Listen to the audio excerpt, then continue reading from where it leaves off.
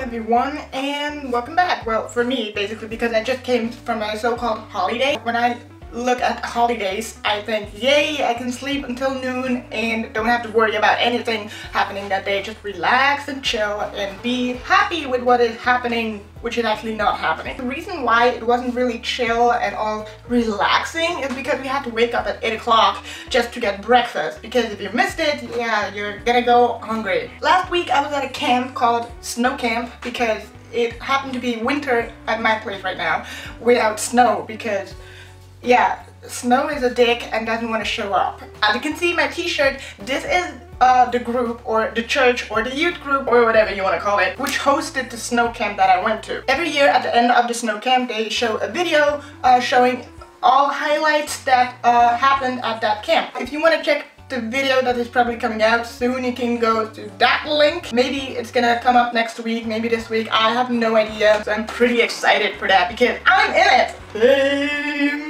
I love it and it's the most highlighting time in each year. I look forward to it every summer. They also hold a summer camp, which ironically is in the summertime. Even though Switzerland is a very huge dick about seasons. Winter is probably in the summer, spring is in fall, and fall is probably in spring. I know we have four seasons, but don't expect them to be on time. So why do I like this camp so much? The main reason is because I can go snowboarding. I remember actually my first boyfriend taught me how to snowboard. Wow, I'm gonna ride on a flat stick and I fell in love with it. And if you ask me where I want to go to holidays, I probably pick somewhere where there is snow, cold, and freezing. I would literally choose Alaska if you choose the Maldives. Why not beach and sand and sun? Because I've basically been there and I've lived eight years in the Philippines. So I've lived five minutes in front of the beach. Shout out to all my Philippine friends. In the last couple of months, I've been very you know, kept to myself. I didn't show up much. I didn't hang out with friends a lot. That camp, we were like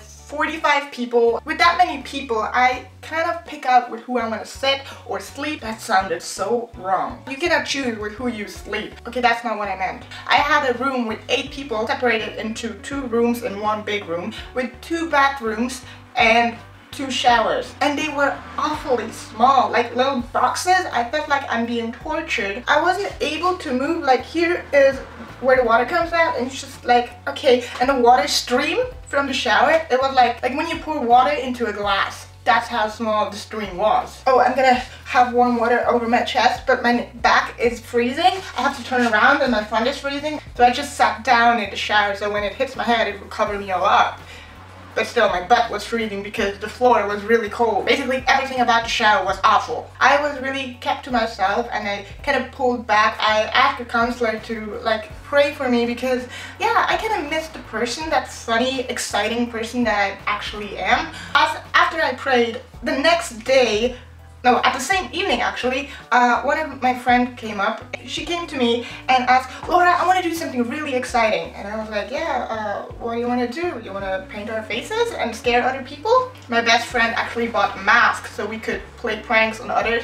And she, she, you know, decorated them very bad sneak into other rooms and wake them up and scare them. never really happened. I don't know why. I think we were just, you know, too lame for that. She asked me if I want to go snowboarding. We were snowboarding, wait for it, with bikinis.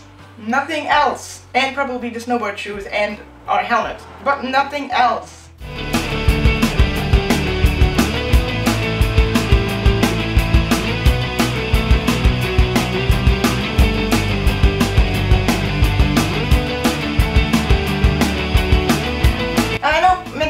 Might think, oh my god, that is so cold and you've probably freezed your ass off. But you know, in fact, it was actually really warm. As you can see from the video, the sun was out, bright and shiny, and it was so much comfortable going with your bikini. You had so much moving space. It was awesome. And you know, your legs didn't have to, you know, pull up your pants because yeah, I'm too skinny for my own snowboarding pants because yeah, they kind of fall down every time I move too hard.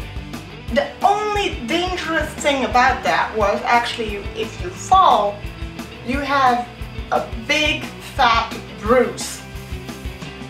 I have a couple of bruises on my legs right now and on my ass. Yeah, that wasn't really, you know, being careful, but And there were so many people looking at us like we were kind of sort of celebrities. Hello, I know, I'm sexy. Go on, keep on.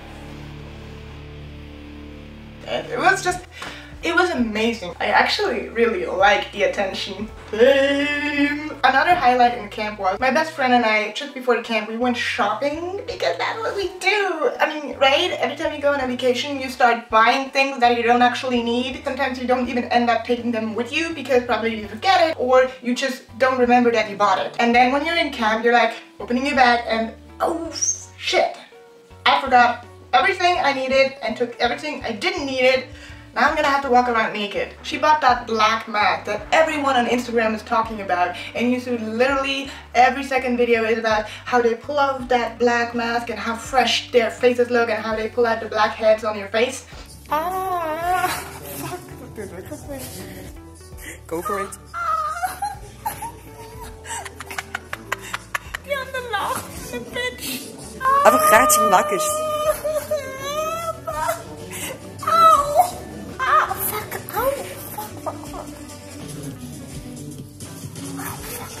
And it looks so easy, but believe me, it feels like you're pulling off your own skin. So we shared it among three people, so yeah, that's why I have a penis on my forehead. That was it. I hope you liked the video. Give me a thumbs up if you like it and want to see more you can also write some comments and give me some suggestions on how to improve my videos so i see you next time and i wish you all the best and have a nice day